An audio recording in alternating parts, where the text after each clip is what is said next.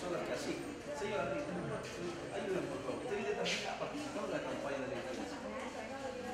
Ya eso viene. Está un poquito ahí, entonces ha obtenido la información para luego eh, asistir a la vacunación. Sí, sí, por eso mismo viene porque, según dicen, el centro de salud está vacunado contra la influencia.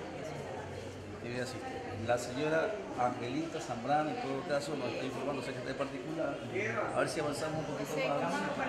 Sí, correcto. Es importante en todo caso conocer que son varias personas, madres embarazadas, niños, entonces que son niños de 6 años en adelante, las personas que pueden participar de la campaña. Tú, caballero, también tenemos acá, va a participar de la campaña. Eh, sí, Tony, a ver si me puedo vacunar, eh, es muy importante. Nosotros las personas adultas, niños, nos vacunemos porque tenemos entendido que está el virus del H1N1 Y de la influenza también. de la influenza, todo eso. Ha, ha habido casos, don Silvio, a nivel de nacional, que la prensa nacional nos ha informado, ha habido casos de personas que han perecido justamente por este tema de la influenza, ¿no? En todo caso, acá dentro la gente participa.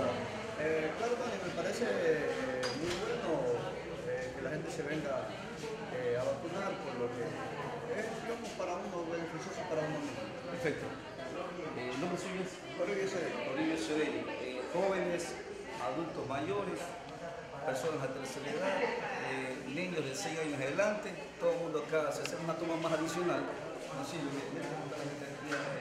O solicitando los distintos servicios. Allá vemos otras madres embarazadas que tenemos, eh, todas ellas vienen con la intención de participar de esta campaña de influenza que inició a inicio de este, este año, el primer, primer mes del año que estamos recurriendo.